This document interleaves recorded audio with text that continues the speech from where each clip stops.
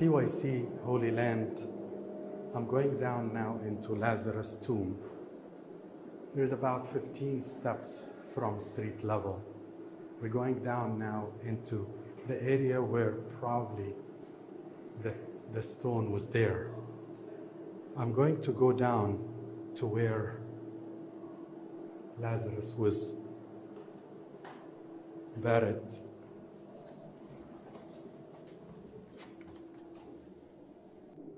This is where Lazarus buried, and this is where he stayed four days and four nights. His sister said, My brother was rotten. And our Lord answered, I am the resurrection of life. She said, He's four days. He said, If you believe me, you will never die. And our Lord shouted and said, Lazarus, come forth. And as soon as Lazarus heard the voice, he came out.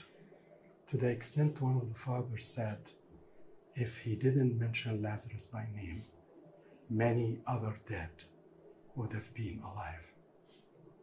This is really the hole in the wall where Lazarus came completely wrapped.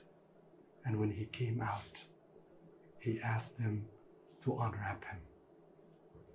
Our Lord asked the people to remove the stone, although he could have done more. The one who resurrected Lazarus could have easily shattered the stone, but he wanted us to participate in his miracle. Remove the stone from those who are dead and let Christ remove every Lazarus. See you again in the Holy Land.